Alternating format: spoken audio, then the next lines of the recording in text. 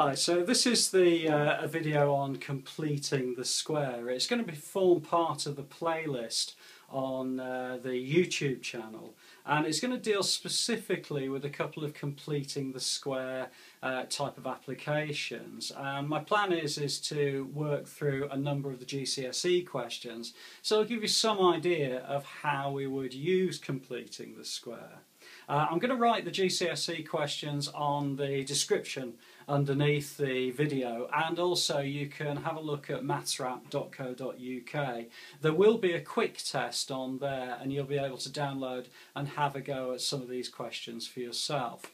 Completing the square is another way of factorising or solving equations. Um, and it's a way of working out the values of x for a quadratic equation.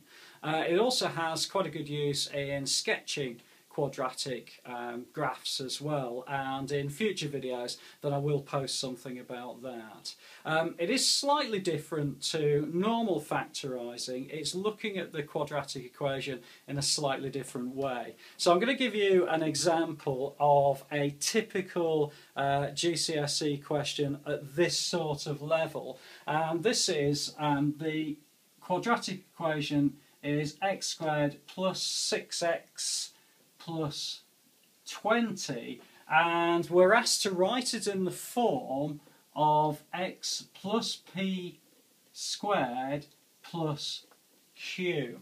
Okay, now this is the formula or the, the way in which we would write um, completing the square um, equivalent um, formulas to this quadratic formula. So um, the way that it's quite useful to do is if you write it uh, like this. So you'd write x squared plus 6x plus 20 and it's equivalent. So if you use three lines it's equivalent to the form of this which is going to be x plus p squared plus q. Okay, so the, the rule is, or the, the way to deal with something like this, is to look at uh, this as a squared term. So the first thing is, is that we've got this x squared plus 6x. So x squared, well, as um, x squared is x times x, then we can put x into there because x squared is going to be x squared. The next thing that we do is we look at the next term and we halve it. Okay, so firstly we look at the sign and it's positive and then we look at 6x and we halve that and we write that as 3. Okay, so what I've got now is a term like that and I'm going to um, factorise that out and it will give me um, partially this. You'll see what I mean. So um, if I look at x plus 3 multiplied by x plus 3, then what I've got is x times x, which is x squared, and then I've got um, plus 3x, so I've got x times x is x squared, plus 3x, plus 3x again, and then I've got plus 9.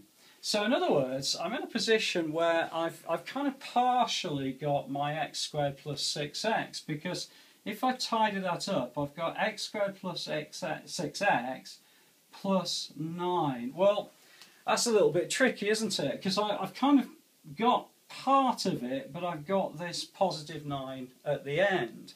So what we do when we're completing the squares, we look at this positive 9 and then we take it away. So at the moment I've got positive 9 and I'm going to take that away to minus 9 and that effectively, if I take 9 away from there, it means I'm left with x squared plus 6x, which is this bit. Okay, so x squared plus 6x I can deal with. I now have the positive 20 to add to the end, so I add positive 20 to the end. So the equivalent is, if I just tidy that up, um, x plus 3 squared, and I've got minus 9 plus 20 is positive 11. And that would answer my question. That'll give me a value of P as equal to 3 and a value of Q as equal to 11. Okay, so the steps are that when you're writing things as completing the square, when you're writing the equivalent completing the square, you need to look at the first value as um, x squared, um, and we take out the x, and then the second value we halve. So we put that into brackets and we square those brackets. And then the simplest way, and really um, once you get used to doing it, you should be able to work out quite quickly uh, the bit that's left at the end. Um, when you look at these sorts of um, equations, you should be able to work out that you're going to be left with 3 times 3. So therefore you take that amount away and then you add on the bit that's left. So by taking the amount away, you're left with x squared plus 6x in this particular case, and then we're going to add on the final 20 at the end. Okay, so this whole area is called completing the square.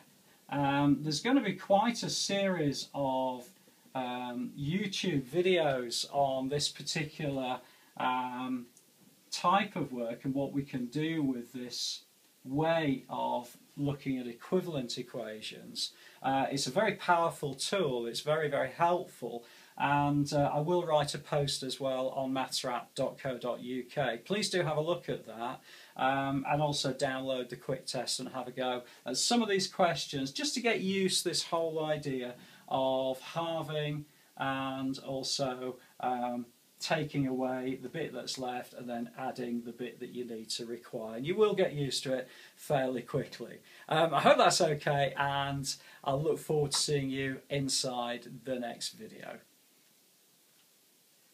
Oh, please subscribe as well. Thank you.